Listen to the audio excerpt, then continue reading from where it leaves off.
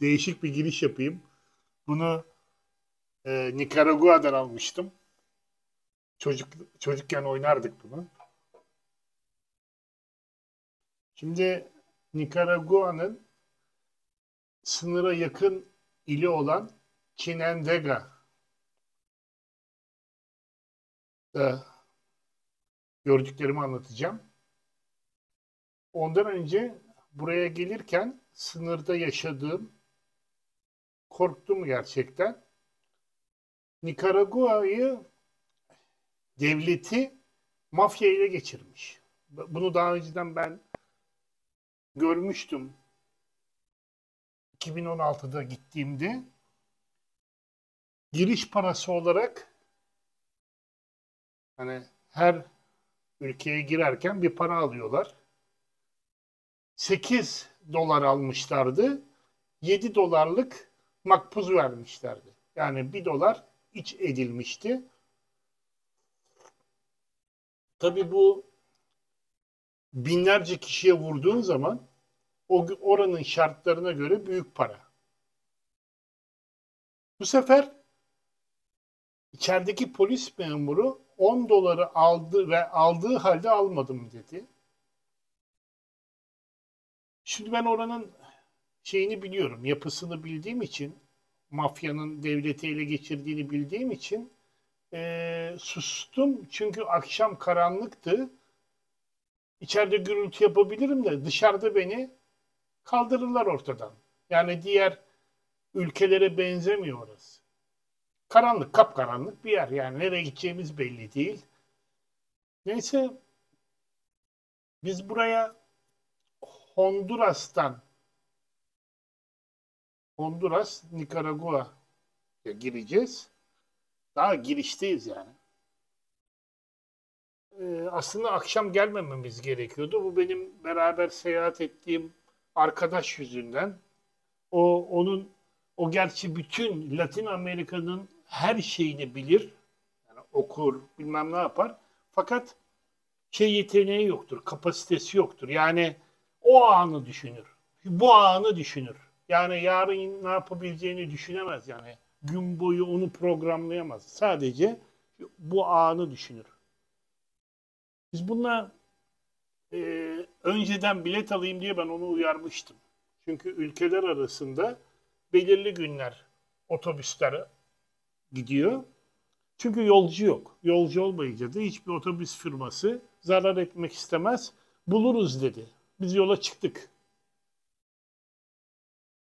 Çıktık da yok otobüs. Yani direkt başkentten başkente otobüs yok.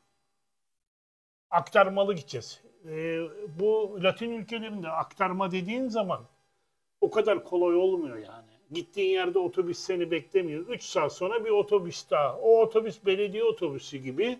Yani iki otobüse bineceksin. Yani şehirden şehire gideceksin bütün gününü alıyor insanın. Aynısı oldu. Saat işte 9'a doğru sınıra gittik. Aslında yanlış yani. Gece sınıra gitmek yanlış.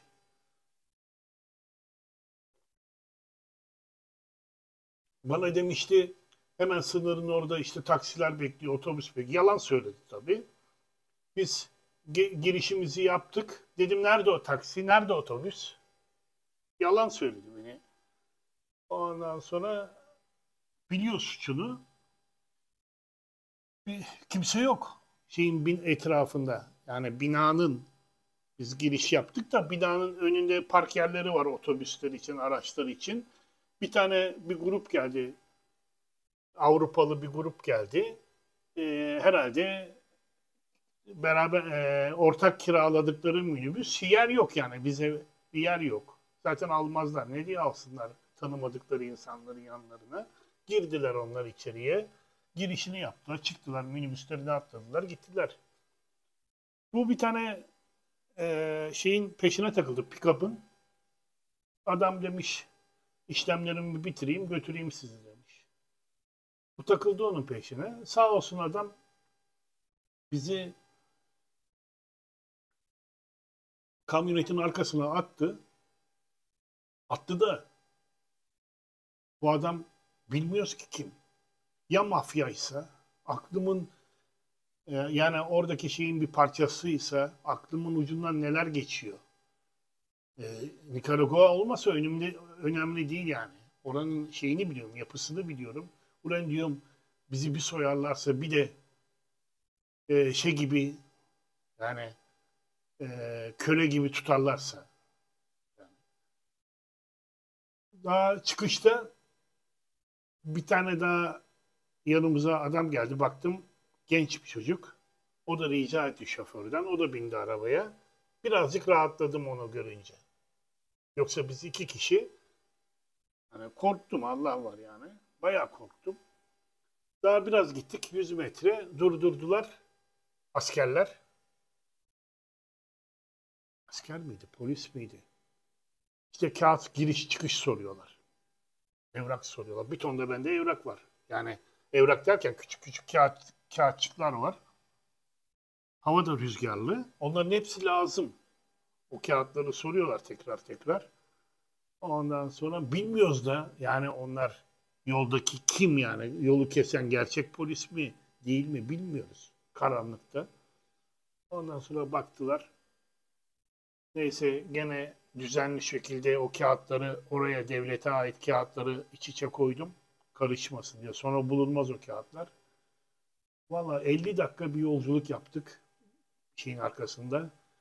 Tabii böyle e, rüzgardan falan böyle hem korku var. Nereye gittiğimizi bilmiyorum. E, ondan sonra hem de soğuk arkası. Geç vakit oldu. Neyse ne zaman bizi bir otelin önüne bıraktı. Oh dedim dünya varmış. Korkudan kurtuldum. Çünkü nereye gittiğim yani bilmiyoruz. Ama orada da kalamayız. Yani orada sabaha kadar kalamayız. Ben, orada ben kaldım. İlk 2016'da o binanın bu tarafında kaldım. O bina o zaman yeni değildi. Yenilemişler şimdi. Ee, orada da korkulu ilk e, sınır geçişiydi karadan. Orada da korkulu zaman geçirmiştim. Bu Çin, Çinendega'ya geldik. Orada kaldık. Şehir merkezine otel. Otel güzeldi. Otel güzeldi. Böyle on numara değil ama e, güzeldi yani. Temizdi. Sonra şehir merkezine gittik. E, ondan sonra orada e, şeyler böyle küçük motorlar var. Motor muydu, bisiklet miydi?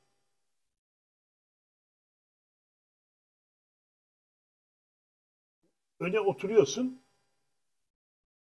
Ee, hani üç tekerlekli motorlar var ya onun tersi. İtmece yani e, onu süren arkadan sürüyor. Biz de önde duruyoruz böyle. Vitrinde gibi. Onun ben videosunu önceden yüklemiştim. Ç Çilendega diye.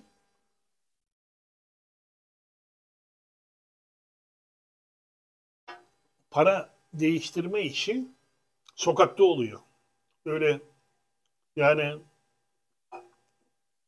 belirli bir yerde normalde onların para değiştirme diye şeyler vardır.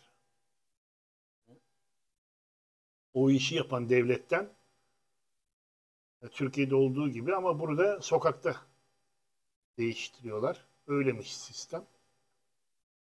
Bende Honduras'tan kalan bir ton para vardı.